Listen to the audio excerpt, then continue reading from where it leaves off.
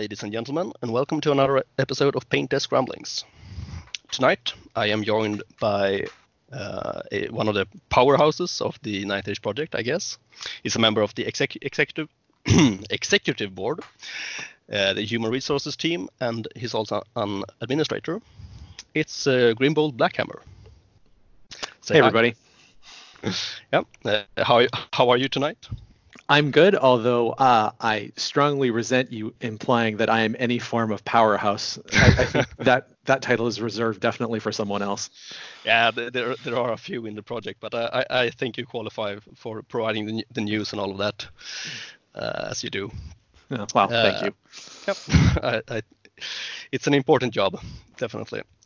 Uh, so tonight we will be talking about uh, tournaments and uh, how how you go go about uh, going to them. I think we'll have a pretty beginner friendly approach, uh, looking at it uh, in the perspective of uh, yeah some general tips and tricks and uh, our thoughts about tournaments in general. Um, not really high end, I think. I don't know know about your back, background, Grim, but I'm not. I, I go to a lot of tournaments, but I don't do well at them, at least. I am the half that makes the top half possible. Oh, I see.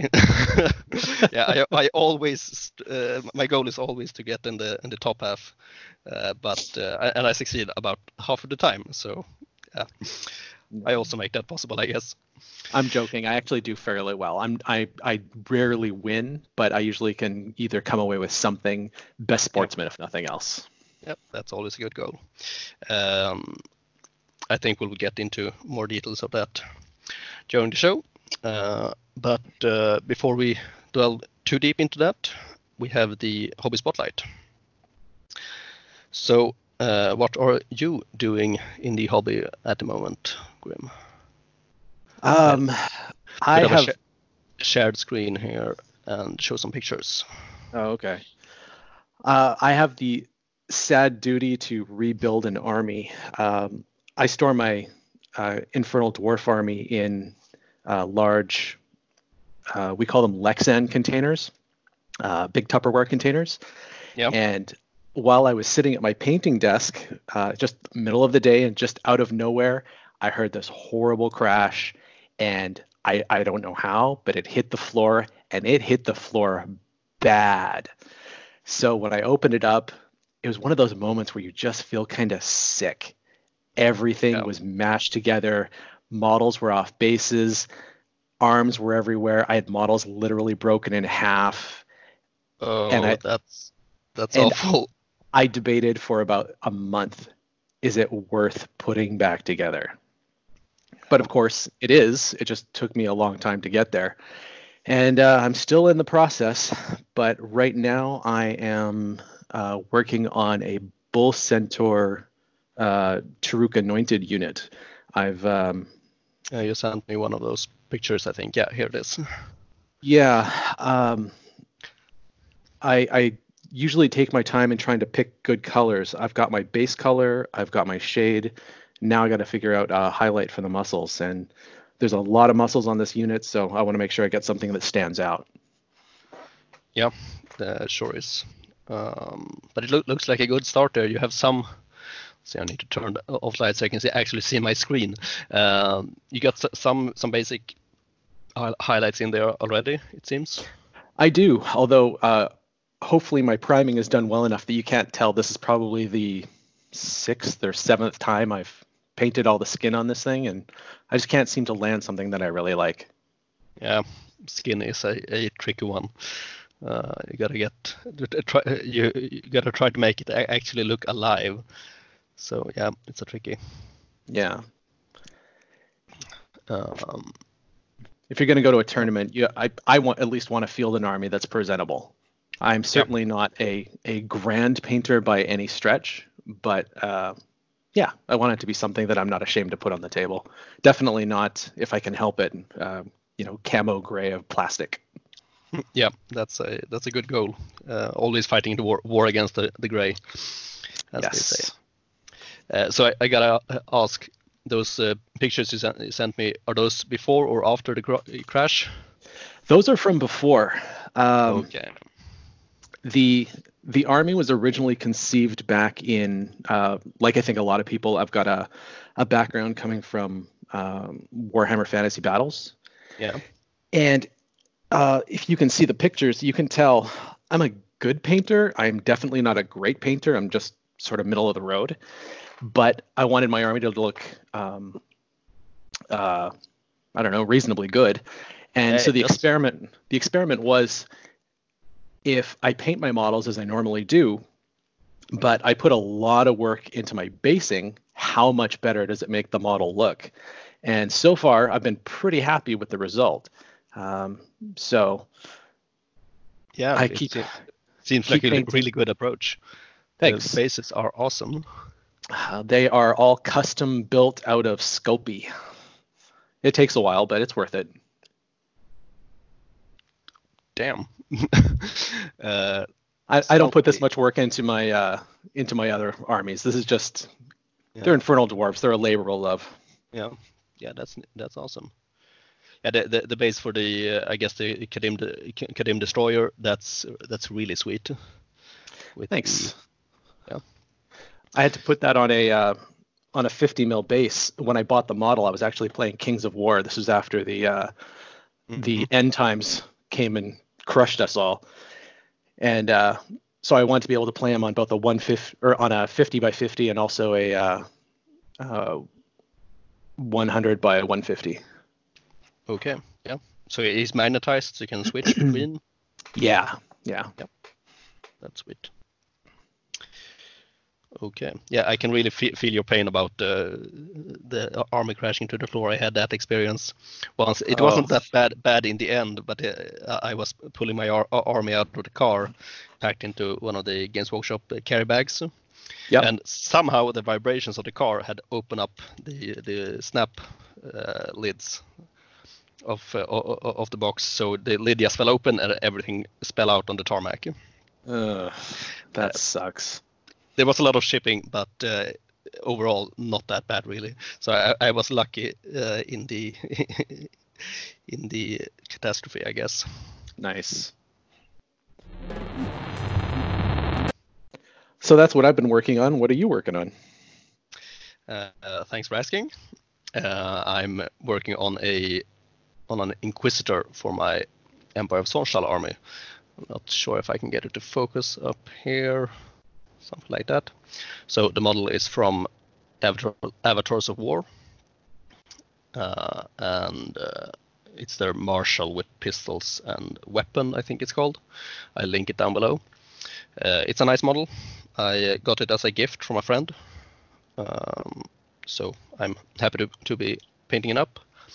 And I'm doing a bit of a different she- scheme on it uh, than from the re- rest of my, my army. I'm using the the secondary colors, so to speak, from my army on, on this lady. Uh, so my army is mostly reds and yellow and black on the uniforms, but I also have some purple and green in in there. And on this one, I'm going mostly with purple on the cloak here, and then there's a little bit of detail in green as well on a an otherwise uh, quite pale um, paint scheme. Nice way to have her stand out. Yep.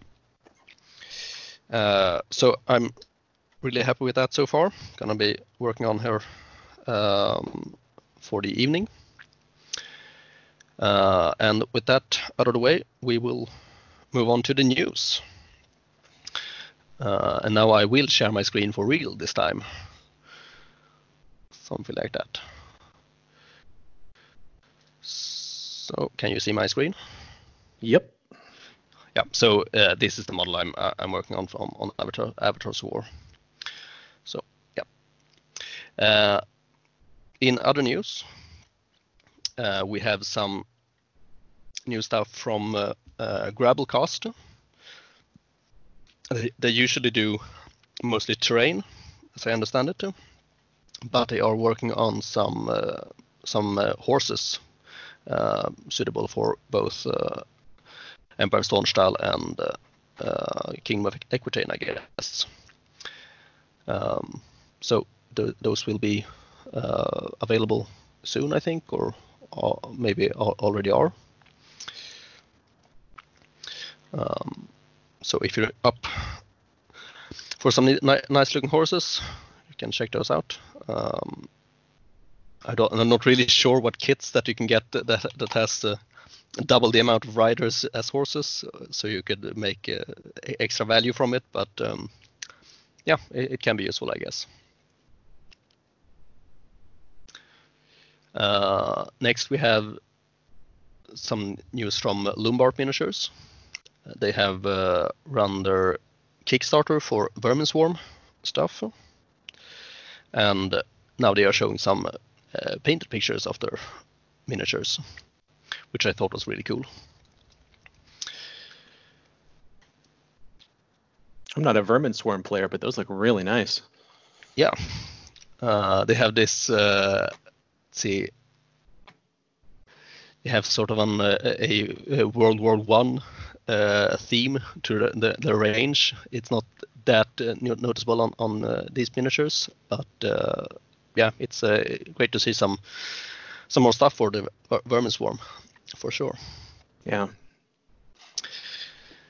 So that's neat. Uh, next we have, let's see here, Aenor miniatures, something like that. They ran a Kickstarter a while ago, and starting to put out uh, these into into stores. I think uh, you can see some of their miniatures here. Really cool ogres and uh, trolls. I think they call them orcs, but they, they, can be used as yeah whatever you want, I guess. Fairly large miniatures, really classic style, uh, sculpted by hand, so they get that uh, that nice, um, that nice uh, old school look.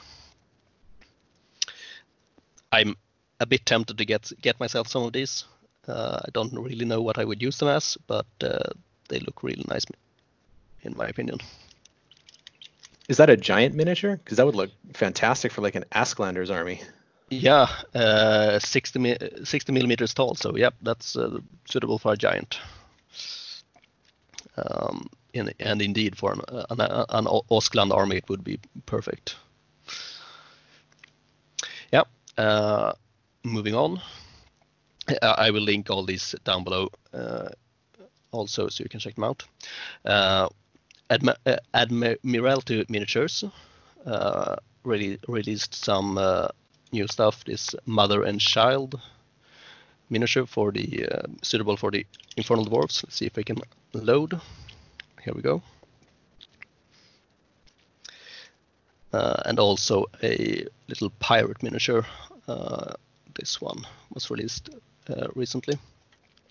So he has uh, quite a small range of neat little Infernal Dwarf models, and yeah, these are just the latest latest additions. I have some of the, these in my possession. You, uh, I don't have Infernal Dwarfs, but I use them. Uh, I'm planning to use them for terrain as statues and such. Um, so but maybe something for you? Maybe. Uh, Admiralty Miniatures, I believe, is run by, if you know him on the forums, as. I, I know him in per- person, person, actually. Oh, do you? Yep. He's, I haven't he, met him yet. He, he, goes to pretty much all the tournaments here in Sweden. Really he's nice a, fellow. He's a fun sculptor. Yeah, definitely. I, I, I, talked about old school style on the uh, Aenor miniatures, and he's really got the, that old school style on his as well. So it's it's nice. Uh, so check those out if you're interested. Uh, let's see. Um, next, we have some uh, Black Friday sales, although uh, I guess Black Friday is officially over, but uh, some of them go into the week- weekend as, as well. So you still have the chance to get this. So Wood Axe has uh, a 25% off. Um, they have a nice little selection. I'm uh, perhaps most interested in their destroyer, suitable for a Game destroyer. Pretty nice looking. Um, also, Norba Miniatures has a sale. uh, you get an an extra hero in your uh, uh, delivery if you order for uh, I think it was 500 euro or more. No, not 500, 50, surely. Yeah, 50 euro. I accidentally uh, translated into Swedish crowns in my head. it can happen to anyone. Uh, Avatars War also has a sale, uh, 30% off. Uh, same as Magnetic Movement Trays, uh, although, yeah, they have 20% off, I think. So some uh, nice deals out there. Um, that's all I have for for miniature news. Have you seen anything that you would want to share? Want to share? Um, there's so much news in the industry. Um, it, yeah. It's really hard yeah. to know even where to begin. Yeah, I, I know know what you what you mean. There are so many miniature comp- companies out there. It's difficult to, to keep track, really. Yeah. Yeah. Uh, all right. Um, we will move on to some other news. Uh, it has been fairly slow from the Ninth Age project side. Um, but I th there was one announcement re recently that uh, maybe you can speak about a little bit about uh, about uh, recruitment. Oh, um, some of our recruiting team uh, had to leave for personal reasons. Uh, one was job related and one was family related. Um, so we're looking for additional members uh, for the team. If someone has Scribus experience or wants to learn how to use Scribus, uh, they would definitely be welcome on the team. Layout is the team that uh, assembles the Army books for uh, public viewing, especially the uh, legendary versions of the books. Um, yeah. And so they're they're a critical component to uh, assembling the product. But unfortunately, two of our key people just left, so we're a little shorthanded. I see. Yeah, it, and even before that, I think it was uh, a bit a bit of a bottleneck for the production of of material. It is finding technical people that want to donate their time is always a little bit of a challenge. Um, the people we've had working not just in that department in all our departments, but in layout in specific, have done a fantastic job the amount of hours that they've put in of their own free time, I can't even count. But um, yeah, if you're interested, uh, if you know Scribus or you want to learn Scribus, you're willing to learn Scribus, um, it's a fun position. Uh, they're a really good group that work pretty well together uh, of the people that uh, we put back into the team. Uh, you can either reach out to me directly or you can um, click on the volunteering um, uh, button on the webpage. Yeah, that's great. Uh, really hope we can get some new people into, into the team. Yes, always looking for more volunteers. yeah, the one thing we always need, all, always need. Yes. Uh, so yeah, uh, unless you have anything else you want to add in the terms of news. Well, the Infernal Dwarf uh, task team is approaching their public beta testing uh, phase for playtesting the new rules. So hopefully people will start getting some peeks on those. Um, I think that's the big piece that's going to be coming out sometime, hopefully soon. Yeah, uh, I've seen that there've been some updates about about that in the in the scrolls as it as, as they come out. but it's uh, good to hear that it's being worked upon. It is. Um, they have uh, really burned the midnight oil on this, and I definitely think the Infernal Dwarf players are going to see some stuff they really like. Yeah, uh, I, I, can only agree from what, what I read. Uh, there was one piece about their their um, their war machines and how they had a a uh, an industry that supported modular design of their war machines and, and that uh, as an engineer engineer really piqued my interest. the uh, infernal dwarves are the most uh, industrial race uh, of all of the races. Not saying they always have the best product, but they're the most industrial. So uh, their ability to mass produce things um, is definitely going to give them an edge on the battlefield. Yeah, that sounds awesome.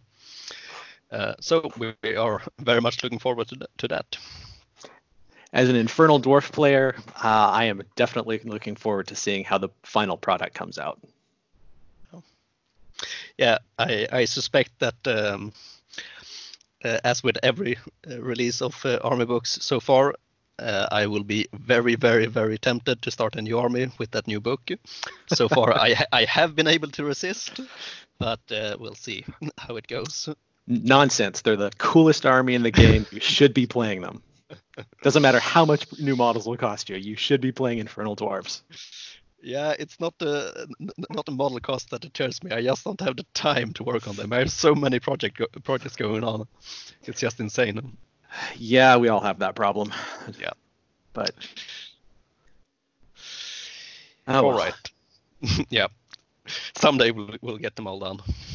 Yes, yes. The dreams we all have of having multiple armies, and when we just can't seem to squeeze it into our lives. Yep. I have have two that I, I, I, bring regularly to tournaments, and uh, now I'm working on the third and fourth, but it's gonna be a long while before those are ready.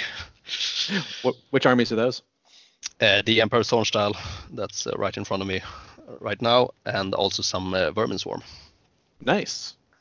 I have an unhealthy habit of only choosing uh, horde armies. I have uh, orcs and goblins and uh, uh, vampire covenant ready uh, to play with already.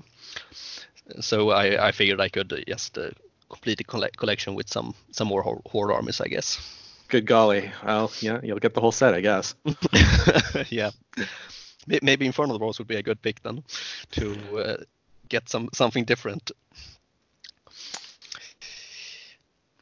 All right, but um, enough uh, chit chat about, about the news, I guess. Uh, we'll move on to the main topic of the show, which is tournaments and uh, going to them in general.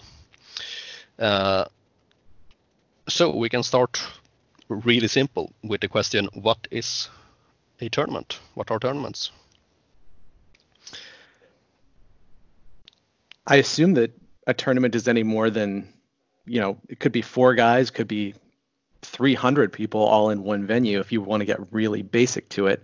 But it's an opportunity really to to get out and play hopefully people outside of your regular regular gaming group. Yeah. So normally we play in our in someone's basement or in a store perhaps, but uh, this is the chance chance to get get out to to meet new people and uh, play play some focus games really. I think there's three kinds of people that generally go to tournaments. There's the hardcore uh, player that really wants to win, uh, often called the win at all costs player. There's the social player who just wants to go and see his friends and have a good time. And then there's the hobbyist who wants to go and see people's models and really beautiful painted armies and to draw inspiration from them. And ev- I'm sure all of us have a little bit of each of those in us, but I think those are the three kinds of people that are generally drawn to tournaments. Yeah, uh, I can agree with that that assessment. I, I, I was just about about to say that about uh, people being a mix of all three, probably, uh, because I sure can in then identify with all of them. Uh, so we can uh, look into a little bit about uh, why we, you and I, go to tournaments. Uh, you can start if you, yes, for your your personal sake. Um, well, after um, after the end times rolled through, and uh, I was one of those people who had a a lot of uh, angst about being out of a miniature game. Um, I discovered the Ninth Age, and I loved it so much that I decided that I would try and go to every tournament within two hours of me to try and support the hobby. Um, I, the one of the most important things I think is knowing that there are other people out there that are playing the same game as you, so that you have opportunities um, just beyond the local people that you're playing um, nothing everybody wants to be part of a bigger community and uh, i wanted to support uh, whatever community, whatever that community was going to look like uh, by my attendance. Um, I got in as a staff member, not at the very beginning, but still in the early days, and um, I love miniature wargaming. I wanted it to succeed. Uh, there were a lot of splinter groups at the time, but I thought this had the best chance of succeeding. And again, I really like the game. So for me, it was really just about supporting the hobby. But now that I've been going to them for a few years, um, I'm seeing a lot of the same people. Uh, I've never really been a big win at all cosplayer. I just I want to go and I want to see my friends and I want to have a good time. Uh, I allow myself one big tournament a year, uh, let me rephrase that. My wife allows me one big tournament a year, um, and for that, I'm I'll drive, you know, five or six hours drive to uh, another state, um, and those tournaments usually have 80 to 100 people, and that's sort of a whole guys weekend thing. But yeah, to get me out of the house, they're a good time, and I really like the people I get to play against. Yeah, you hit a, a lot of the, po- the points there. Uh, but uh, so, so, you didn't uh, play tournaments uh, before uh, Ninth Age? Uh, my claim to fame is in um, Warhammer Fantasy Battle Days. I walked away f- with something from every tournament that I ever went to. All three of them, even if it was I best see. sportsman. I see. yes. Yeah, okay. So um, you did some tournaments I, I did, before. Yeah, I didn't think the tournament scene was really uh, something that I wanted to get into, mostly because I was I'm such a slow painter, and I didn't want to field unpainted armies. Um, but when I started attending uh, tournaments for the Ninth Age, I really got the bug, and now uh, I want to go to them if I can. But for some reason, there's a conspiracy that every single tournament organizer wants to organize them on my wife's birthday, my anniversary, the one time a year when we do a big trip, uh, that kind of thing. I see. Yeah, that's unlucky. Yeah, but I hit as many as I can. How about you? Uh, yeah, I uh, pretty much the same, I guess. Uh, I go to tournaments uh, mainly for for the people. I have some friends uh, that I only meet at tournaments. So uh, but it's lovely to to, to meet meet up with every time, um, and and also to meet new new people, of course. Especially the the few last tournaments that I, that I've been to, I've been surprised by how many uh, new people I meet.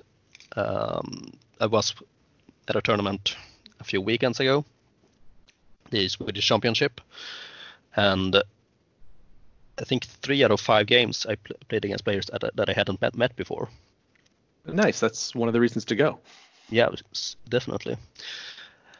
Um, and I, I, also a big reason for me to go, go is to see uh, see the hobby as you, you said and uh, showcase my own latest creations, which is one of the reasons that uh, nowadays that I'm working on new armies that are not yet tournament ready.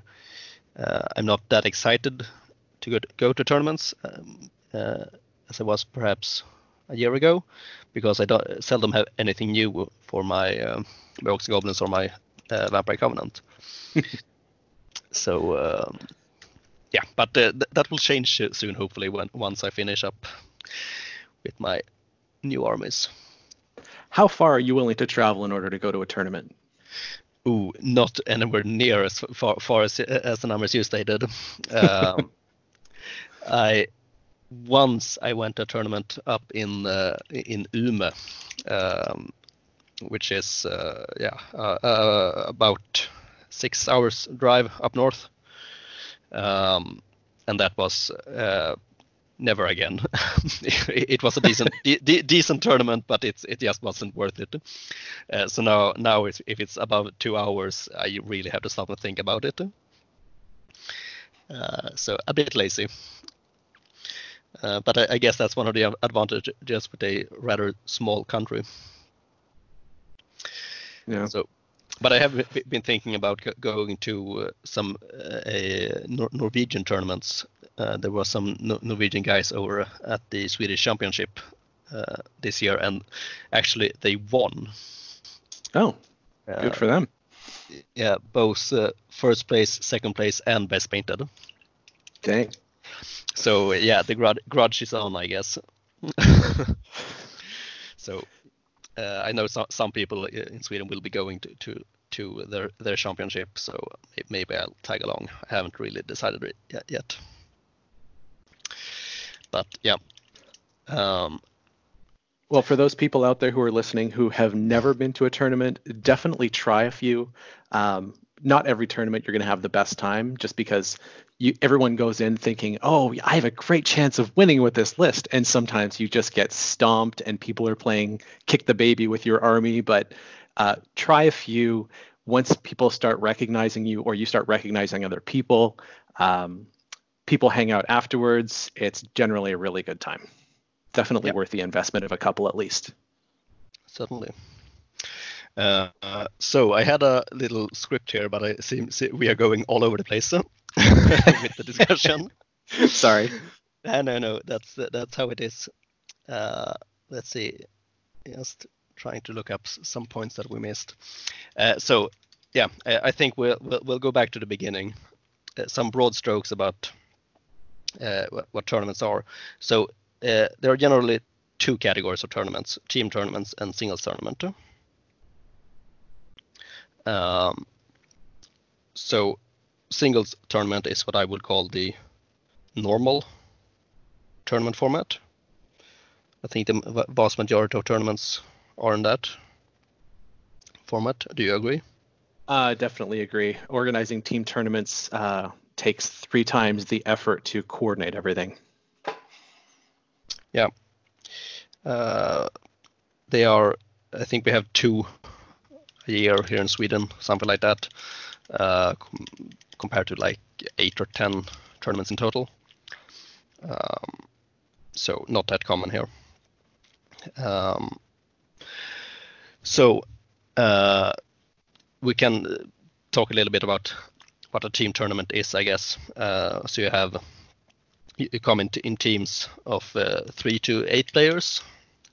I think are the usual uh, formats. so e equal size teams, uh, but depending on the tournament, they might choose different different numbers. Um, and then every team is paired against uh, another team in the uh, using the normal uh, Swiss uh, pairing system, I guess. Yep. And then each team uh, pairs up uh, their individual games for their players. in sort of a mini mini game, I guess. Have you played team tournaments to any larger degree? Uh, I have not played many. Most of mine are, in fact, single tournaments. Um, I'm based out of San Diego, California, and so I don't have access to going to things like the ETC, um, which is the biggest, one of the biggest team tournaments in the world, I think. Yeah, I, I uh, think it's the uh, maybe the the, the world the, the WTC WTC. Yeah, can yeah. can compete by the, but I still think the, that the, the ETC is bigger. So team tournaments over here uh, are not um, not a big thing. Almost exclusively is uh, single person tournaments where your job is just to crush the opponent and get as many battle points as you can. But of the few team tournaments that I've been to, I was surprised of just how much I liked them. They had a completely new dynamic to uh, the tournament scene. Um, being knowing that you're also responsible to your teammates and the changes in the dynamic of on this game, you're just supposed to not lose points versus we need you to win big because your buddy just took a cannon to the face on turn one and we know he's now going from a win to a loss. Um, it's it adds an extra element, an extra dynamic that I'm not used to, but by far, team tournaments are for me uh, a lot more fun than uh, just singles tournament. Not that I don't have fun at singles tournaments, I do, but team tournaments are just add that extra something that make it a little more intense. Yeah, I can uh, I can only agree. I, I only actually been to uh, one team team tournament, Uh, but that, that was a really really good experience. One thing that I that I noticed about about it was that normally when you go you go out with some friends uh, to a tournament and you play your games and then uh, you meet up for lunch and you go, go eat and then you talk about uh, about your games. And generally people are not really that interested in listening to other people people's games. They want to talk about their own game um, which is understandable but a bit of a shame. But at a, at a team tournament it's entirely different everybody wants wants to hear the details and you want to talk about what you can learn and how you can improve and all of that too. that is so it, absolutely true yeah it, it really changes the, the, the dynamic as you say um, so yeah, team tournaments. Um, I uh, yeah, I think we can agree that they are a nice uh, variation. Yeah. So uh, singles tournament then.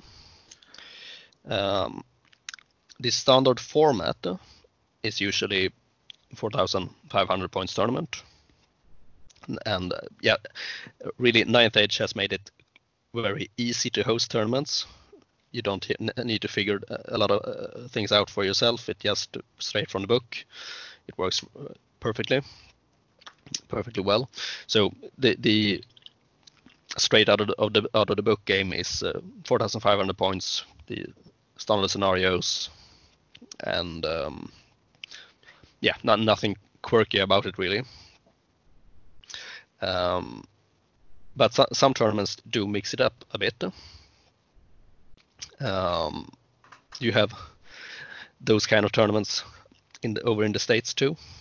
We do. Um, they're usually 4,500 points. Um, there's the uh, usual categories of whoever gets the most battle points um, gets the best overall.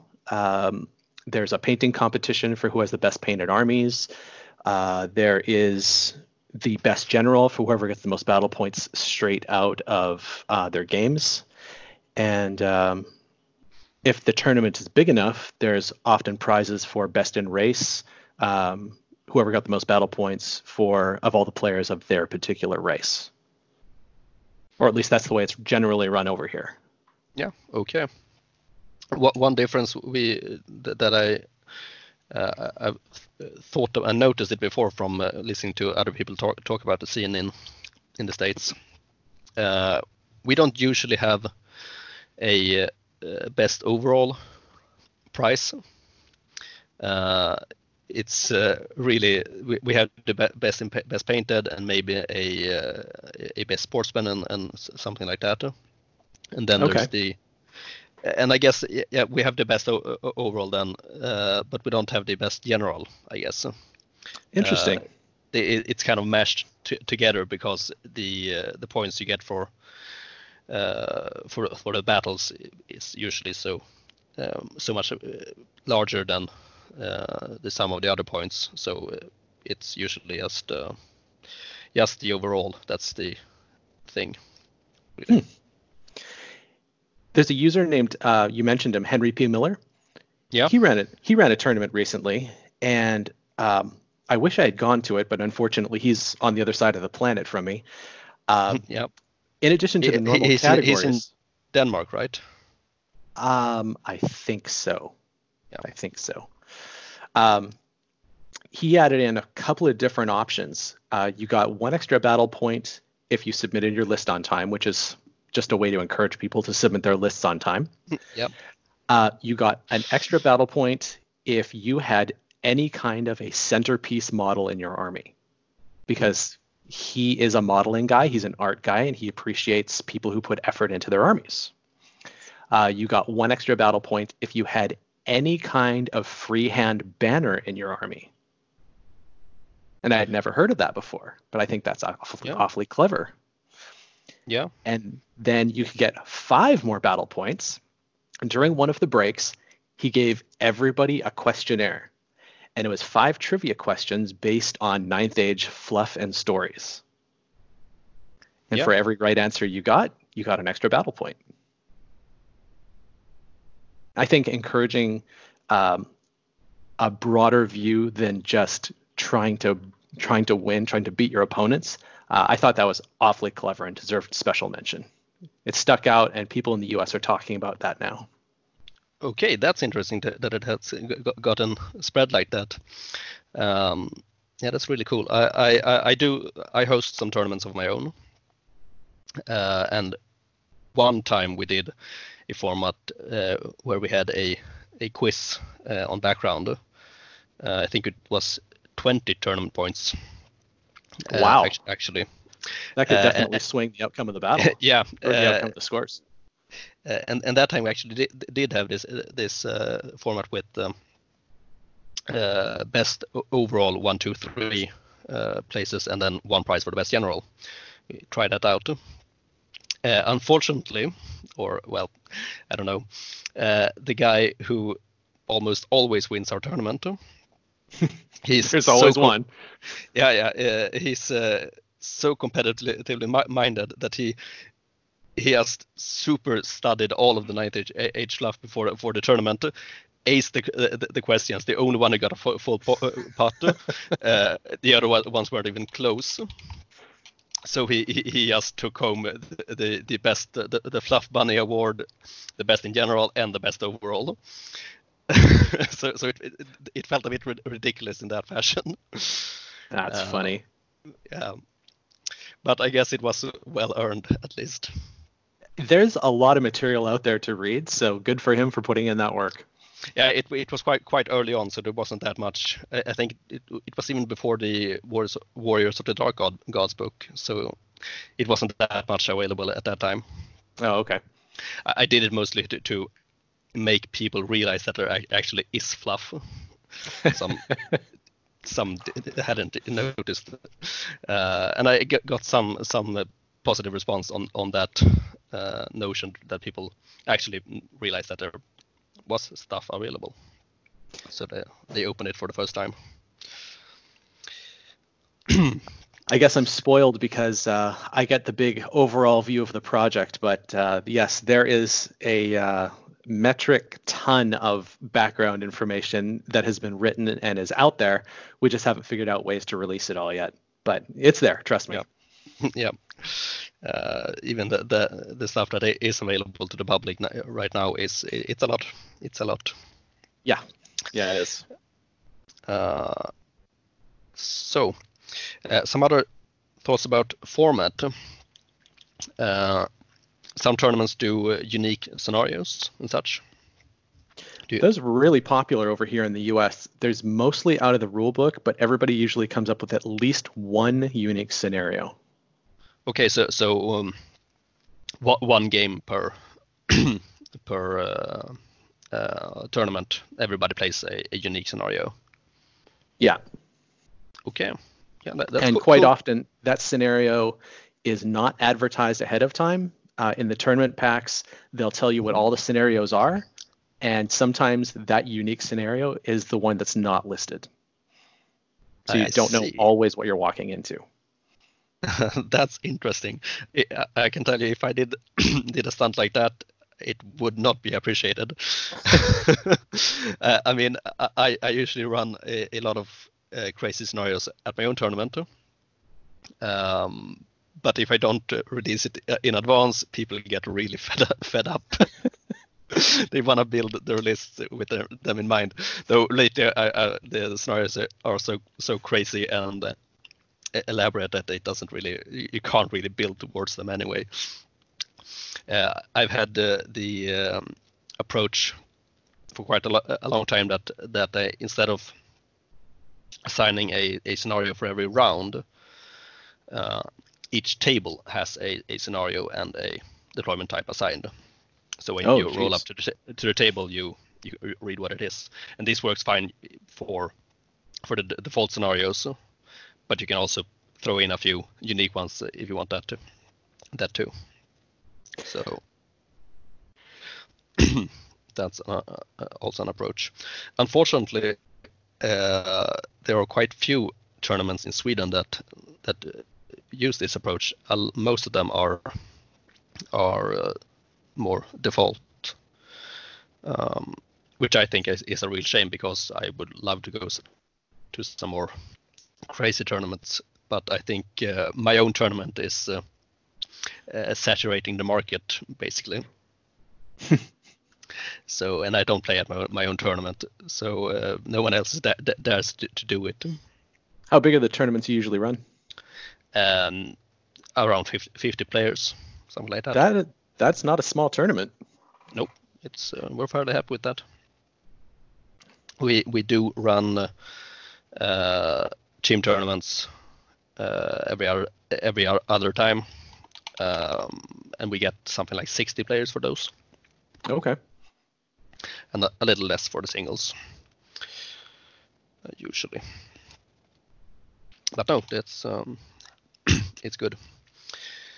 Um, there's one other tournament in Sweden that uh, really push, pushes the the limits of the uh, format, uh, and that's the, the the tag team tournament. Ah, yes, we haven't brought up the tag team tournament. Yeah, that's the other kind of uh, of uh, team tournament, I guess. So you wanna run through the format? I need to take a sip. Sure. Um, I don't know what the format is like uh, where you are, but here in the U.S., um, people generally bring a 2,500 point army. Um, it has to it has to be a legal army for your army. It has to obey the the different percentages and uh, whatnot. But you are randomly paired with someone else, and between the two of you, you have about five minutes to come up with some form of a battle plan in order to beat your two opponents. And I've been paired with people where I've looked at their army and I thought, oh, we're so going to lose. And of course, I get wiped out right away, and he struggles through and he somehow wins it after my valiant sacrifice. okay. Uh, this was a, a, good topic to, to bring up because I can tell you we, ha- we have one t- tag team tournament in, in, Sweden every year. It's the tag team tournament. And it's not that format. Oh. Uh, we don't r- randomize the, the, the, the, the teams. You roll up with your partner and you play five games with this uh, companion army.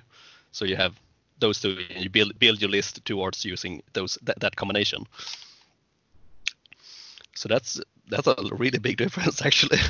there are definite advantages to your system. I can see advantages to, to both, but uh, yeah, really interesting to see, hear that it's it's so different. Yeah, yeah. Uh, in a situation like what you're describing, how would you work the magic system? Uh, it's really not an issue. You treat it as as one army, really. So you uh, um, you, you, draw draw one card and you generate generate veil tokens, and then you just cast away. Um, you you share the pool basically. And players have to decide amongst themselves who has the better spell to cast.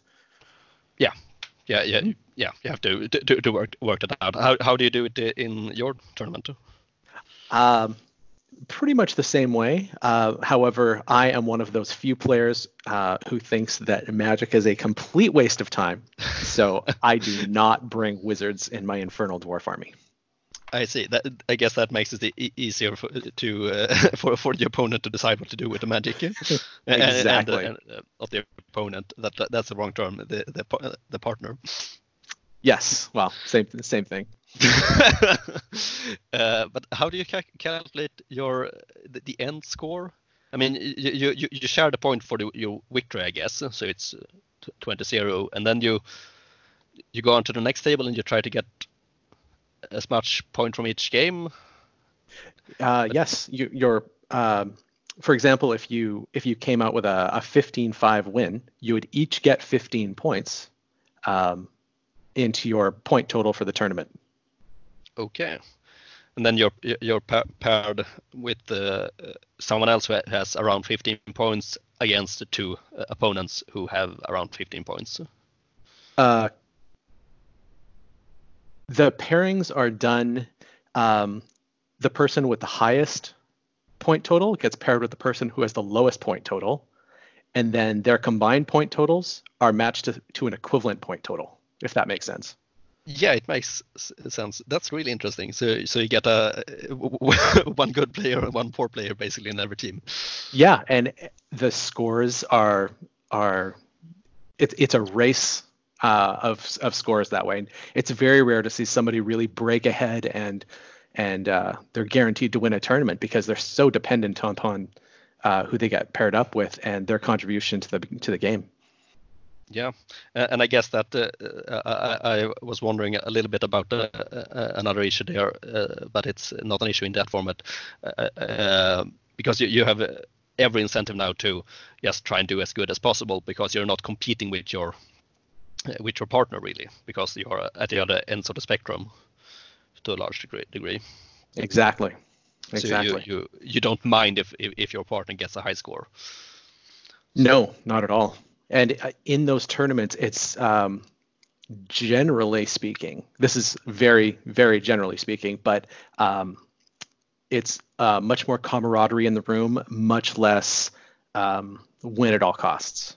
And I actually I don't see a lot of win at all cost players anymore. I think uh, a balanced rule set has driven a lot of them away.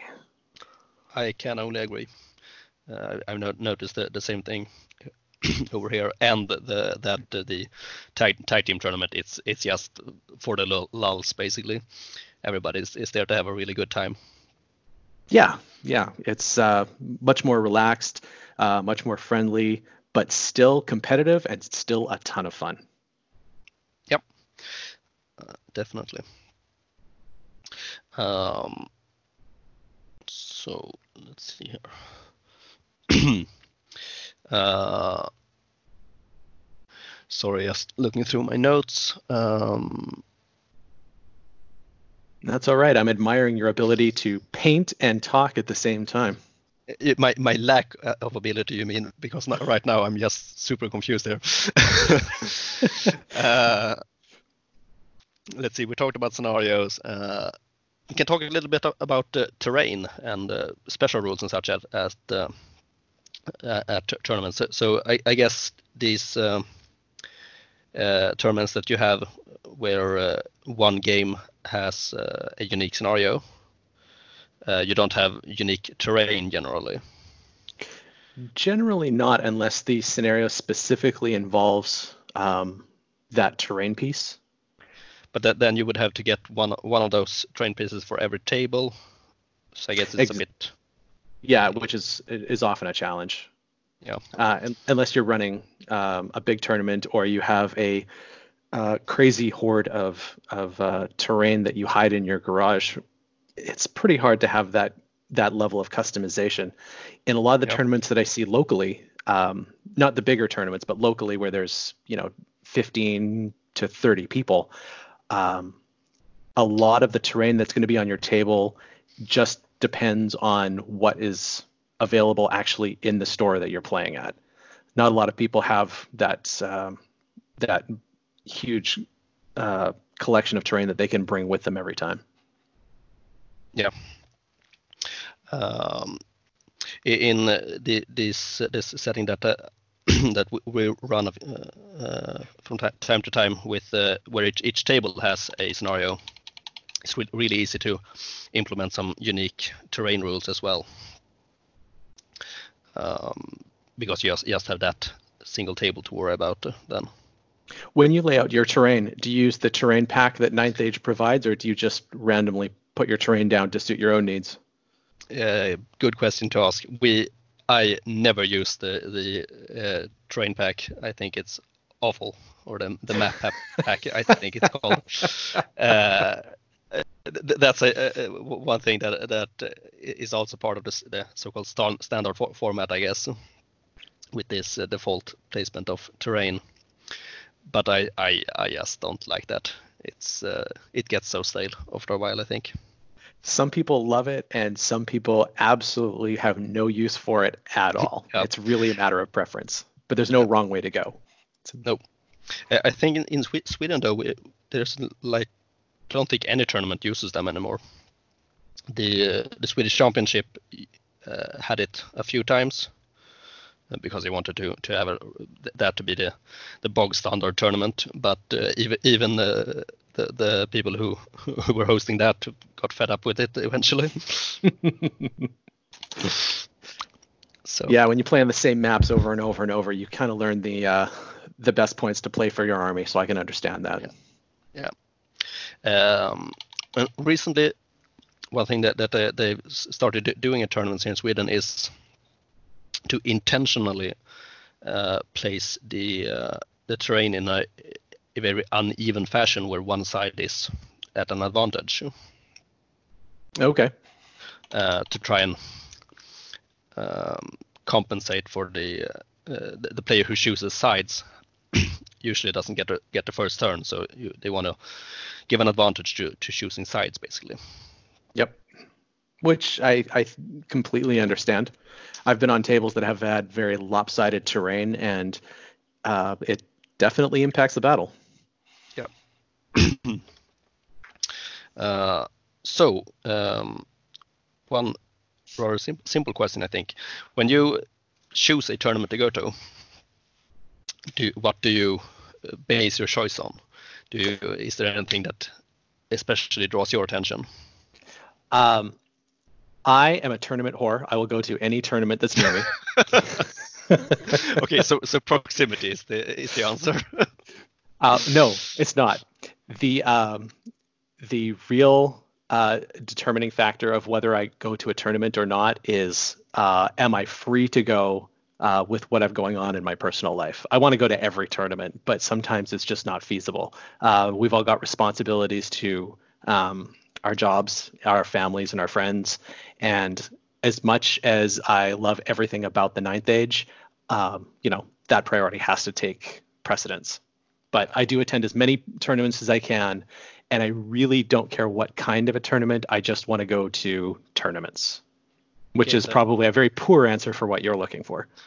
yeah, I I, I, I was uh, pretty much uh, uh, out for if you prefer the, the, the wacky style tournaments or the or the standard format, basically. But uh, yeah, I guess it's not that important to you. I'm lucky that I get a good mix of both. Um, Yep. So if uh, I, I do try and attend every team tournament that I can go to, not that there's a whole lot of them, but um, because those team tournaments add that extra little um, the extra the extra camaraderie, which is what I really enjoy in in tournaments now. Um, if I can go to those, that would be my number one pick. Okay. Yeah, and I, and I guess uh, that uh, if if the camaraderie and uh, and all of that is the main uh, attraction of a tournament, it doesn't really matter what the format is. Nah, yeah, it really Yeah. doesn't. The, the Back- team tournament, team tournament, of course, has another appeal then, but the, the, the scenarios and such doesn't affect that. No. Back when I was a younger, more handsome man, I went to tournaments to win. All I wanted to do was win, to prove I was the best and that I was going to crush my opponents and all that kind of good stuff. But um, that harkens back to um, back to the earlier days. I, I think now um, I think I matured a little bit, and I I now appreciate tournaments much more for the social aspect than the than the glory that they bestow upon you. Okay, yeah, uh, I I can relate to that. I I used to play a lot more competitively. Uh, I think uh, not that I was ever really successful at it, but nowadays I I, I don't play as much in in my in my uh, everyday life, so I, I my skills have gone down a lot, I guess. So it's difficult to to get those everyday games in for me. Yeah, back uh, back in the day, I was going to the game store every weekend or every second weekend, uh, but now I play a few times every month or a couple of months. Um, Yep. Just how is it that as you get older, you start making more money, so you can buy more stuff, yet you get more respons- responsibilities, so you can't go and play as often. Yeah, it's a shame. It's a real shame. It's an unfair mathematical equation, I tell you. Somebody should do something about that. Hmm. we age backwards or hmm, something like that. Yeah. Well, if you come up with a fix for it, let me know. I think the, the answer is just just don't get a life outside of hobby. Yeah, that's not a really good answer, but if I come up with something, I'll let you know. yeah, that's good. Okay, so uh, going through my notes here, one of my points was traveling to tournaments. We have already discussed uh, the time we're, we're willing to spend going to a tournament, to, the travel time, but uh, some different means. Um, I think it's mostly car in the states. Mm, yes and no. I think it is mostly car. Um, I drive to all my tournaments. I would. I don't think I'd be comfortable putting my army on a plane because you would have to take it as carry on. Yeah. Um, But I do know that for there's a big tournament called the Buckeye Battles. Yeah, And, I- uh, the, the, the name rings a bell. It's it's a hundred person tournament. It's it's Yeah. fairly big, and um, I know a bunch of guys from my area. They uh, they piled into a minivan. I, I think they rented the minivan. They piled into it, and they drove thirty some hours in two days Holy. to get there for the tournament. oh, they- that's dedi- that, that, that's dedication. they drove up on um, they they left on Friday morning. Uh, they got there just in time for the tournament on Saturday. They played all day Saturday, all day Sunday. They drove back on Monday, and they said it was so much fun, but it was so not worth it. yeah, that's some dedication. That's Yep. 30 hours. That's That's a long time to be sitting in a car with a bunch of guys eating Slim Jims and burritos. yeah, the the states really is a huge country. So I, I guess we, we, I, I'd be going down to somewhere like where like Italy, something, 30 hours. Well, in in Europe, correct me if I'm wrong, but plenty of people will jump on a plane with their army and they have no problem flying to a you know, a country not too far away with their army for a big tournament, right? Yeah, I, I mean, people do it definitely. I, I've- never tried it, but uh, for the ETC, uh, definitely people are fly, flying in from all over the world, even even the states, uh, and somehow they bring their armies along with them. Yeah, there are I- I- people, but Uh, Yeah, I, I, I, I- I'm with you that I, I, I'm very doubtful that I would ever, uh, ever dare that. I mean, the, the nightmare scenario, you, you do, you have to have to take it in in your in your carry-on luggage, of course, because you, you won't let anyone else hand, handle your army and toss it around. And no, like no, no, no, no, no. but but night, nightmare scenario is standing there at the, the at the security check check in, and, and they just see this pointy pointy uh, metal spears in your in your box, and you you can't bring it along. exactly. And and what the hell do you do in that situation? Uh, Or even worse, they, they point at your Dread Elf spearmen and say, I'm sorry, that spear is pointy. That could be used as a weapon. And it's like, no, they're Dread Elves. They couldn't be a weapon. Trust me, I've tried. They're terrible. Yeah. But- the strange, strange thing is, I never heard of anyone anyone actually having this problem. I've talked a little bit about to, to people who, who do travel like the, uh, that, that travel with their armies, and it's never seems to be a problem. Uh, the worst I've actually heard was somebody dropped their case or um, they they flew to the ETC and went, oh, I forgot all my movement trays. So Yeah. things happen, but yeah, I, I don't think I'd be comfortable getting on a plane with a with an army in my hand. uh, seems like a dangerous proposition, but people seem to do it. So They do. and, They and, do. and really, uh, uh, it feels surprising that they they they would let you onto a plane with with some of this, this stuff. I mean, the, the the movement trays that, that I'm using for my coming armies are from Ma- magnetic movement trays, Mm-hmm. and they, they have a steel sheet in the bottom. That's if you Yep. just remove the the tree uh, the, the wooden brim. That's that's a weapon. I guess it could be, yeah. so uh, I don't know. You have to know when you go through security, they look at that, they look at you, they look at your army, they look at you, and they think, man, this guy's just a big dork. yeah, I guess he's, he's completely harm, harmless. But that's okay. They don't understand the goal. They don't understand the passion. Yeah, it's uh, difficult to grasp, I guess, from an outsider's point of view. Um, what when people travel by plane, what do they store their armies in? Yeah, that was uh, actually the, the next points uh, that are on my list. Uh, how to tra- transport your army. Um, so we can just go, go through the, the, the options, I guess. Um, so I've seen seen some people just using a large box, nothing fancy about it. Uh, you said you store, stored your army in some large boxes.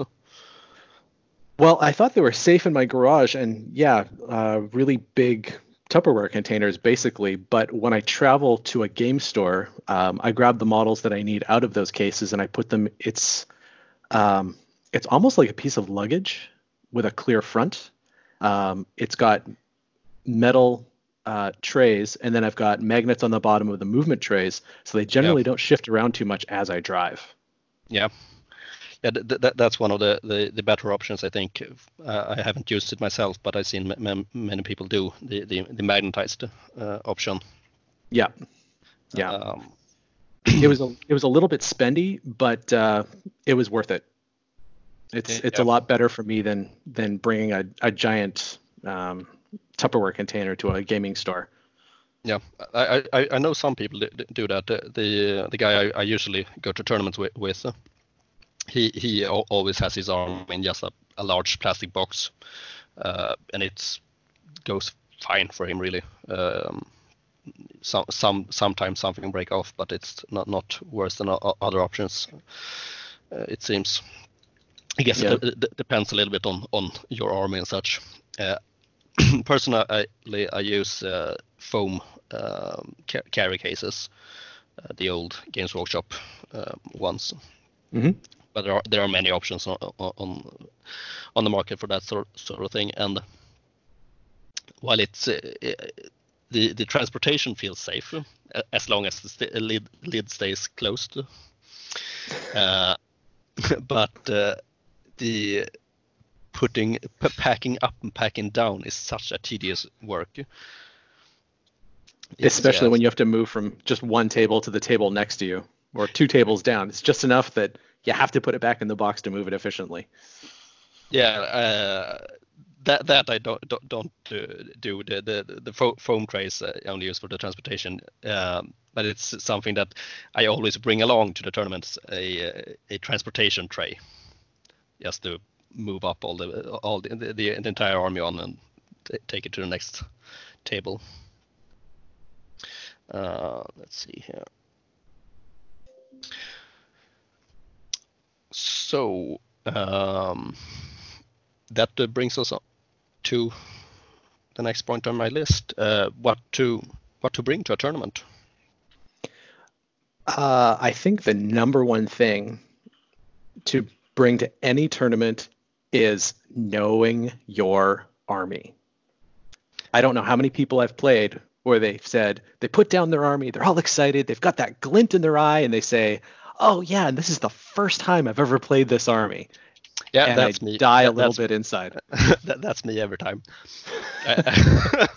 lately, since I don't, don't get that many games in in my usual uh, schedule, uh, it's often that uh, the, the, the games that I play at a tournament is are, are, the games one to five with that particular list. Oh no, I'm and, not talking that list. I'm talking that oh, army. okay, okay, yeah, that's that's a different story then. Yeah, just just understanding your army's rules. You don't have to memorize every bit of offensive skill and defensive skill. If you need to look those up every now and then, that's okay. But not understanding some of the basic rules, you know, if you're playing a beast herds army, you should probably understand your ambushing mechanic. Mm, yep. You know, just same same with Undying, Undying Dynasties. Yeah, yeah, it, that's that's another great example. Um, and when you go to a tournament, um, understand that it might be just down the road for you, but other people might have driven two hours, three hours, whatever to be there. Um, don't be a jerk. Understand that everybody comes here for for their own reasons. Um, I think everyone who attends a, tournament, no matter whether they're a good player or a bad player, everyone should strive to win the best sportsmanship category. Yeah. Play a play a friendly game. there's no need to be a real jerk. If you if you have an honest disagreement about a rule, that's fine. That just happens. But don't don't treat your opponent like like he's the bad guy because nobody's a bad guy. We all go there to have fun and to play with other people. Yeah, well said. Um, I can only agree. Um, and and for the most part, I think it's true. That's what people people do. I, it's very seldom that you encounter bad sportsmanship at tournaments. I think it hasn't happened to me too many times. There's definitely been people I haven't wanted to play twice, but I've never really had any of those bad horror stories experiences that I've heard other people talk about. I maybe I've been lucky, or maybe I just have the right attitude that I've been. I avoid those people, and it doesn't come out on the table. I don't know. I think that the, the scene has uh, changed a bit there. Uh, I seem to recall that there there was more bad sports in the in the good old old days of uh, Warhammer 8th edition, but it War- might be a colored lens. No, I think you're right. The Warhammer um, 8th edition, well, Warhammer in general, their rules were always uh, quirky and they actually encouraged min maxing, power gaming, and win at all costs kind of lists. Um, I, I, I remember playing Tomb Kings with my three dispel dice and them showing up with 12 power dice. Um, you know, the the oh, I rolled double six, pick up half your army lists. The like that that's just not fun. Nobody really wants to play against that anymore. And because yeah. that's not available in the ninth age, I think um, those kind of players aren't really drawn to it. Um, maybe they're drawn to other games. I don't know. Or maybe it's just um, I think the gaming community has matured a little bit uh, in the absence of those kind of rules. Back in the day, um, Warhammer Fantasy was really the only fantasy game in town. So nobody really knew better. But I think people do know better now, and they want more balanced tournament rules than they want um, the weird, wacky, dumb stuff. Like, yeah, it, yeah. I, I can't think of a single person that would want to go back to the animosity rule. Or oh, there, there are plenty of people on the forums who want some, something like that at least. Oh, jeez, I, I, well, okay, maybe I just can't think of a single orc and goblin player. I don't know. Yeah, uh, as an orc, orc, orc and goblin players, I, I can say not not your animosity rule that was, but I think I would like something to capture a bit, bit of an unruly feel to the army. But it all depends on, on what the ninth age com- comes up with uh, for fluff and uh, also so. Oh, don't worry. I'm sure they will be treated appropriately. And by appropriately, they're not my army, so they'll all be strength two, offensive skill two. yeah, look forward to that. just just for you. Just for you. Perfect then maybe that can act, act as motivation to get these uh, uh, other armies done. you know, that's one thing we haven't talked about, and that's one thing that tournaments are really, really good for. Encouraging yeah. people to paint their armies. Yep, that's true. How many armies, how many units have you gone, geez, I want to use them at that tournament in a couple days, and I really need to get them painted. And they've been sitting on your shelf for one, two, three years, and you're like, yep, I'm going to get them to tabletop quality in the next 48 hours. Yeah, it has happened. Definitely.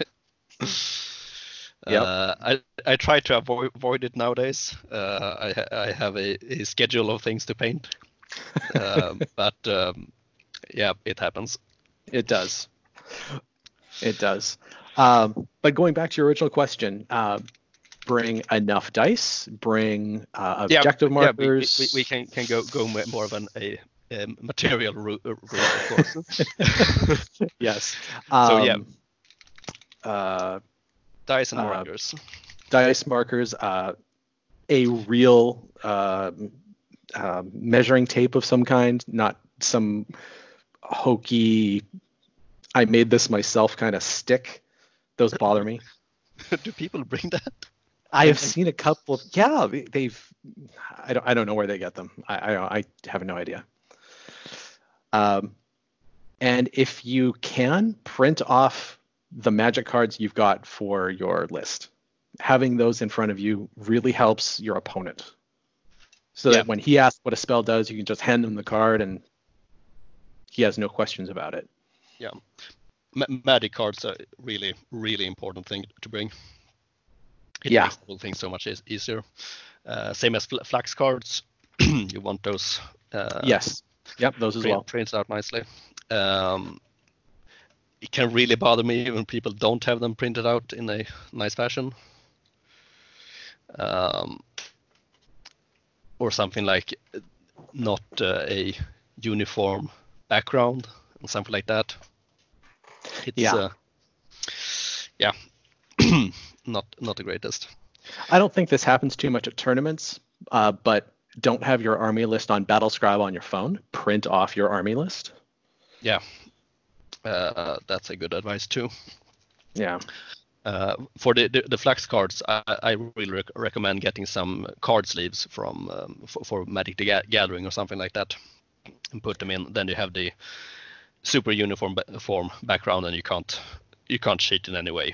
Try and re- memorize the the background and such.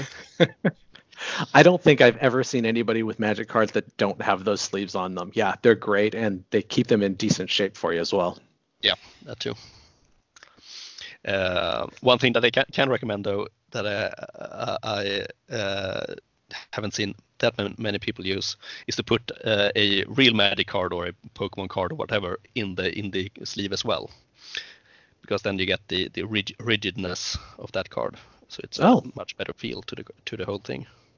That's not a bad idea. Yeah, that could work too. Um, something that I've seen on some of the online battle reports, and I haven't got these myself, but I think it's a brilliant idea. They are uh, 90 degree uh, pieces of plastic that you yep. put behind every movement tray, and that way you mark where your unit started, and that way you can move it wherever you need to. And if you're ever not sure, you can move it back to where it was because you've got that piece of plastic there from before you moved it. Yep. Those are great. I, I actually got some of those from um, uh, magnetic movement trays recently. Uh, however, I forgot them to bring them to the tournament. so uh, uh, great in theory, uh, not great in execu- execution for my part. Well, I think that those a set of those will be uh, possibly my next my next purchase for my gaming supplies. Those look absolutely brilliant. Too many times in games, I think it's happened to everybody where somebody moves a unit and somebody else has a question about it, and then they move it back, and you're sure that's not right where it was, and yeah, stuff yeah, stuff happens. Yeah, and those discussions are really. I mean, uh, it, it using this can seem like a very gamey move that you want to uh, move back and forth and try every possible combination and try and and get the, the absolute best way to to your movement. And some people do that, of course, and it and, and it can slow the the movement phase down a bit. Yeah. But the, the upside is that it's it shuts down arguments. It's yes. If you even if you're having a super friend, friendly game and all of that, if someone picks up a unit and then just something happens and you have to place it back where it was, it's so much simpler if you had a marker there, down there. Yeah, yeah. And speaking of those, there is an often forgotten about or ignored rule uh, in that a lot of people uh, don't apply to tournaments, but it's specifically meant for tournaments. When you're playing with your buddy in your garage or your basement, you can do whatever you want. But in a tournament, the rules specifically state you move one unit, then you move the next unit. That doesn't mean, oh, I, I, you know, I've moved three units and oh, this one's a little bit in the way, so I'm going to nudge it over a little bit. Nope, you've already moved that unit. If you've got those movement uh, markers we're talking about, I wouldn't have a problem with you going back because I know where your unit started. But as far as moving and then nudging, uh, that is technically cheating, and I know it bothers a lot of people. I'm okay with it sometimes, but there's been times when it's happened and it's made a huge difference and it becomes a problem. Okay. In Sweden, we have a, a I think quite generally uh, uh, agreed upon rule that as soon as you make a decision or your opponent makes a decision or someone rolls a die, then you lock down the movement up to, up until to that point. But as long as nothing has happened, no decisions, you can always backtrack and adjust and nudge all, all, the, all, day, all day long. Of course, you have, still have to move th- things in a legal way, so you can't you can't physically just switch places with two units because one would have to move first and then the other would have to move. Um, but as, as long as you don't ro- roll dice, you are generally allowed to, to backtrack in Sweden, and, and then those those markers are really really really helpful. Yeah, yeah, definitely. Um, I, I, guess as long as you know what the general rules are when you go in, um, it's that's totally fine. When I sit down with my opponent, um, I give them a clear outline of what I'm expecting, and that's that any dice that is even is even remotely cocked, I reroll no matter what, yep. and um, measure to the tray or so measure to the model, not the tray, things like that. Um, yep. One, yeah, one, it, one inch spacing rules to other units and to terrain. Some people play those differently. Yes, Yes. So it's it's good to know know where you where you're at before the game begins. Yeah, uh, talk about the terrain that you're you've got in front of you. Is the terrain that entire piece, or is it just the building sitting on that that piece? Um, yep. Is the entire thing water, or is it just the painted blue parts? You know, those kind of questions can make a difference later on in the game. Yep, it's always good to sort those things out beforehand. Yeah. And also, don't be afraid to ask your opponent questions hey, I'm moving my my unit here because I want to make sure he's out of line of sight. Do you agree that he's out of line of sight of that unit? You have a better angle than me. Yes, great. Let's move on. Yeah, that that that attitude is can save a lot of arguments. Yes, yes, definitely.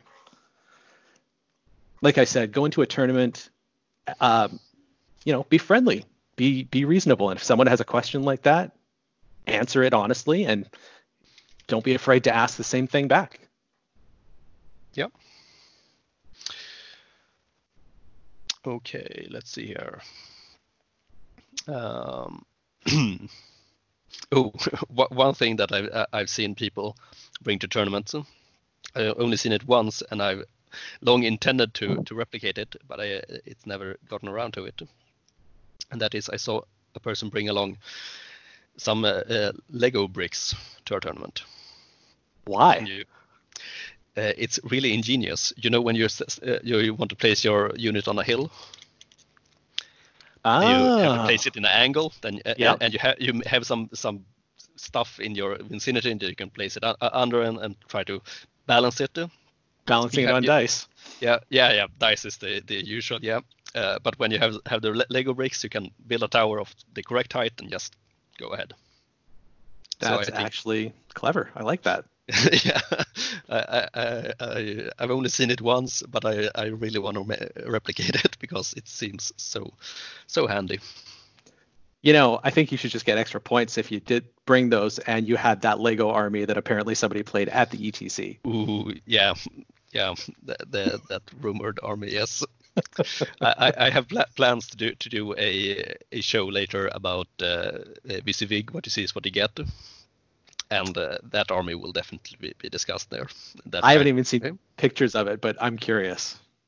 Everybody yeah. said it was really well done. Yeah. it's a sensitive topic for some.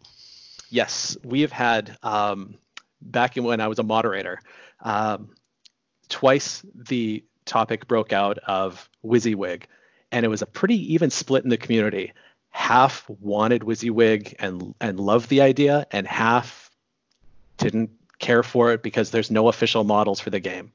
Um, it's a it's a sensitive topic, and yeah, some people love it, some people hate it. Yep, definitely.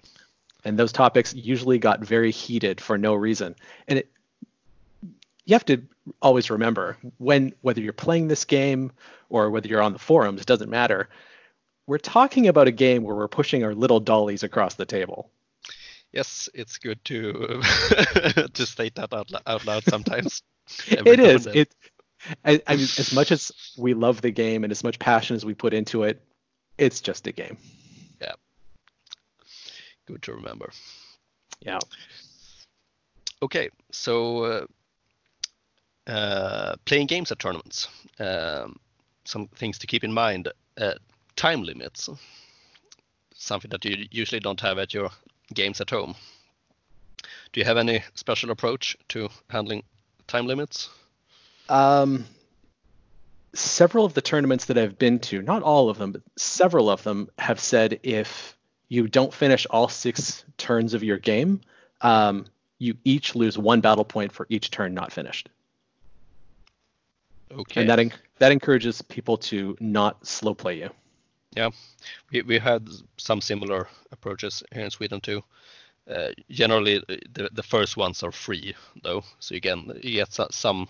You can be late a few games, uh, but not all of them, basically.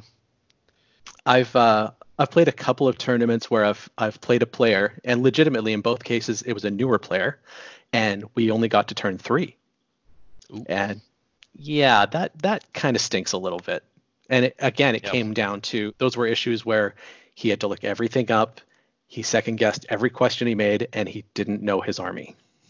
Yeah. But it happens. Yeah. Um, yeah, sure. It, it ha- happens that you're you're late, uh, or you can't finish one of your games. But if it's if it's a habit, then you really need to to do something about it. Yes. Yes. And if you know that you're a slow player, you might need to practice just speeding up your games. Um, playing fast is a skill that's definitely acquired in in um experience. Yep, certainly. So, um, how do you stay sharp throughout the tournament? I mean, Uh, the game game three on the first day uh, is it's always a challenge. I think. It is. Um, I am a candy smuggler. I will always have candy at my table, and I'll munch on it throughout the day. But uh, you know, after usually by the the third game of the day, my voice is pretty hoarse, and it's no longer a lot of laughing and, and joking about stuff. It's more of just pointing at stuff and holding out three three fingers for I'm hitting on threes and four fingers for wounding on fours and rolling dice. yeah, I've been there.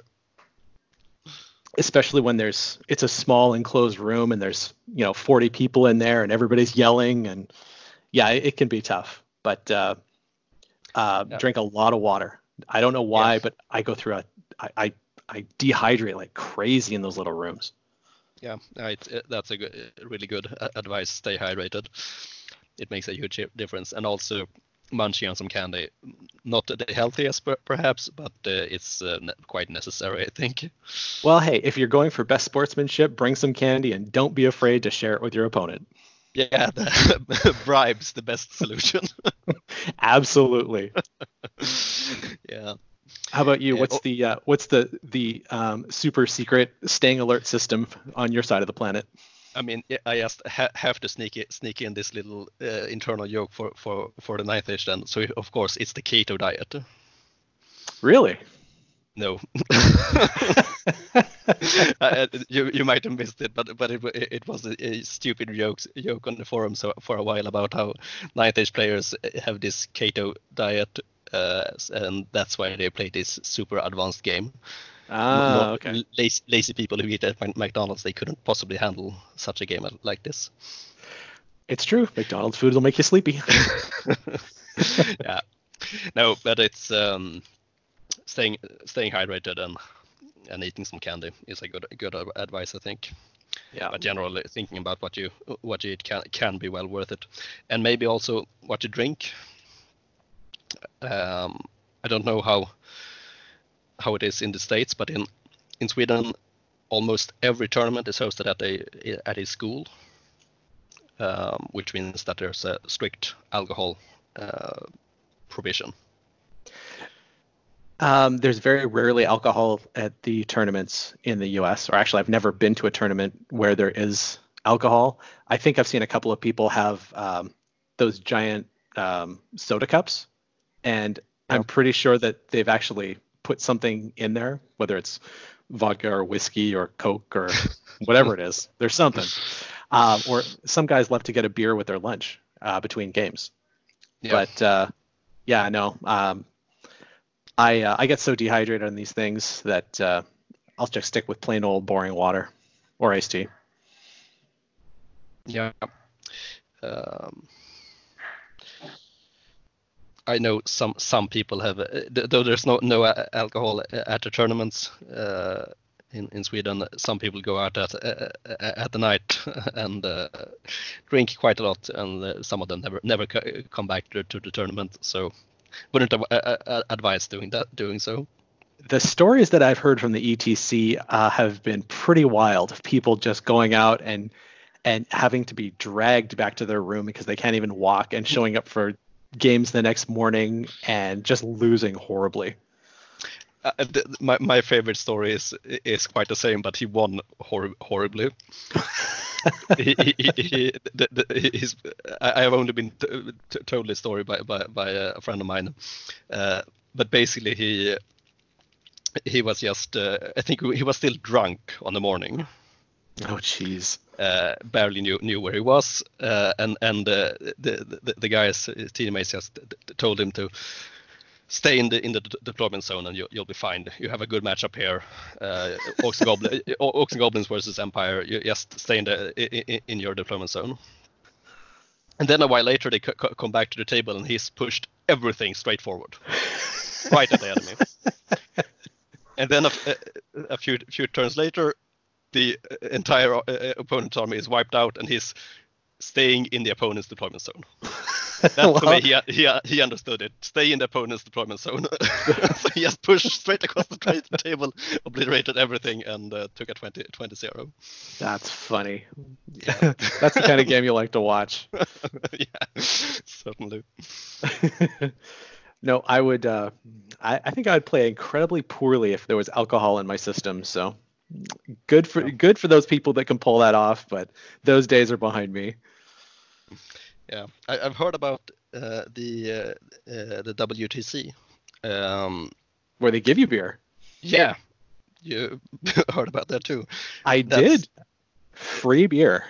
Yeah. Um, that seems crazy.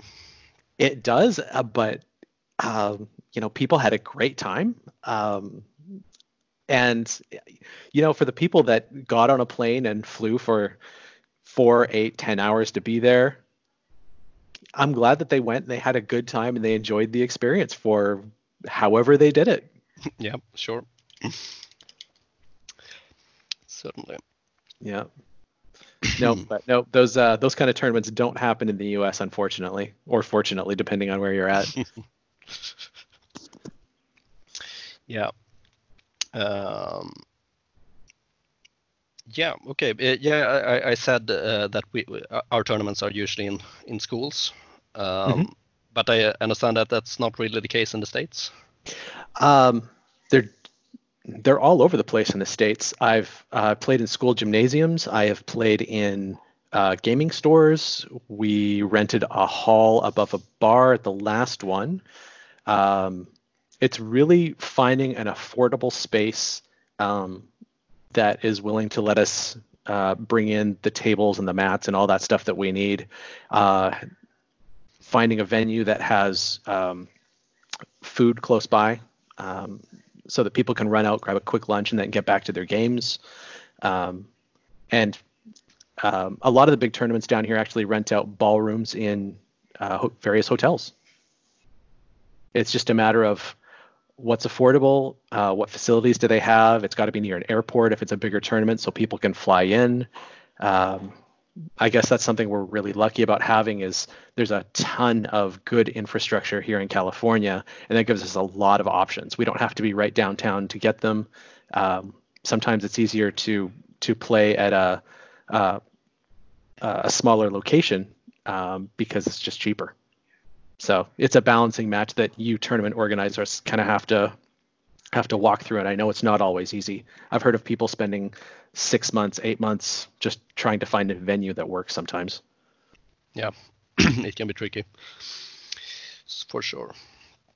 And I, for the people who um, don't know, tournament organizers generally don't i don't think at least here in the us they're not making money by hosting tournaments they do it out of just love of the game and and to be with their friends um, and quite often they even end up putting their own money into it on top of the attendance fees that they're collecting from us so when you're at a tournament kind of keep that in mind and definitely thank the tournament organizer because what you don't see is the endless amounts of hours that he's poured in trying to organize everything for your benefit yeah, definitely. It's uh, it's not easy. No. And um, I think I don't don't think there's uh, those who who's, who spend money out of, out of their own pockets here in in Sweden for for hosting tournaments, but um, the hours that you spend in, put into it is uh, is still well worth a, a thank you at least. Yes. Yeah. Do you provide food at your tournaments or no? Uh, some do. Uh, okay. It's not not that common, uh, but some have lunch options and such. Yeah. Sometimes there's just a, a giant tray of of sandwiches or pizza, or sometimes people are just expected to fend for themselves. It all depends. It varies by tournament. Yeah. yeah. we, we usually have uh, uh, some some snacks at least, uh, chocolate and such. Oh, okay. For sale, but not nothing. seldom something larger, or uh, maybe, maybe some some easier uh, lunch, but not not that much. Usually, the only thing that's available is bottles of bottled water. Okay. Yeah. But then again, this is the United States where um, you know you get you get sued for coffee being hot, so nobody wants to bring in Subway sandwiches and get a get yeah, sued for food poisoning or something silly. Okay. Yeah. Yep. We'll call that a regional difference, right? Yeah, for sure. we haven't had any such issues here. Well, I haven't heard of any in the local gaming tournament, but no. trust me, there's always going to be a first. It's going to happen. uh, okay. Uh, I think I've gone through all of my notes that I had intended. Intended. Do you have any closing thoughts? Um, only to reiterate how much fun tournaments really are, and how much um, I think they're they're definitely worth going to, if for no other reason to support your local gaming community because everybody wants to be able to play against new players. It gives you a chance to play against armies that you don't normally get to play against, and play against tactics of uh, players that you don't get to play against. You might be a really good player, and sometimes you want to. You might be the top player in your area, and you want to look for other high-end players that you're just not finding. You might be a lower level player that wants to get better, and you want the experience of seeing different kinds of people playing that you can apply to yourself. So there's a lot of benefits for it, not just the social aspect, but go to a tournament and try it, get everything that you can out of it, but the most important thing is go there and have a good time, whether you win or whether you lose. Yeah, I agree. There are countless reasons to to go to a tournament. Yeah. Um, and uh, I mean, it, it, even if you get smashed all the all all the day long, uh, you might just learn, learn a few, few few new things about your army and such. Yeah, definitely. Maybe even more than if you only only win. I've learned more from my losses than I have from my wins. So that's definitely true. Any okay. other last pieces of gossip or news that you have questions about? No, I think I've said about what I want to say. And I'm also asked about finish with this model too. Oh, you've got to show it before we're done. Yeah, yeah, of course. Uh, just noticed that I hadn't painted the handle on her little sword here. well, thank you very much for having me on your podcast. This has been fun. Yeah, it was great having you on. so let's see here if I can get some light on this model. Is that focused? Somewhat? Um, pretty close. Nice freehand on the cloak. Yeah, thank you. I'm gonna do something on the outside as well, but I haven't quite figured out what what yet. you know, that model would look a little bit better if you just turned it into an infernal dwarf. yeah, sure. That's uh, that's an e- easy transformation to make. Just a small conversion. yeah.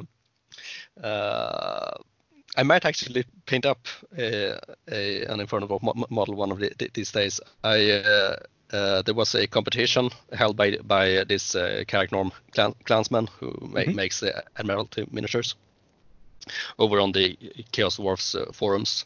They yep. had a, a, competition for writing rules for a skirmish game that I entered uh, and uh, got second place. So I won a small little little Chaos Dwarf model.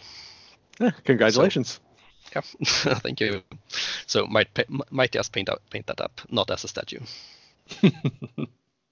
we will see.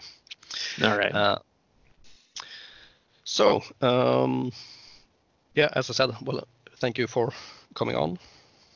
And, I appreciate uh, you having me on. Of course, you are welcome back uh, anytime you want. I think I already have you written up for uh, another episode uh, down the line um, about starting new armies. I think it was, or painting new armies, something like that. Yeah, could be. I look forward to it. Yeah, uh, might be a while before I get to that, but we'll we'll see. Uh, and thank you to all of you who have been watching. If you have made it th this far. Um, but yeah, I think that's gonna do it. So cheers. Cheers.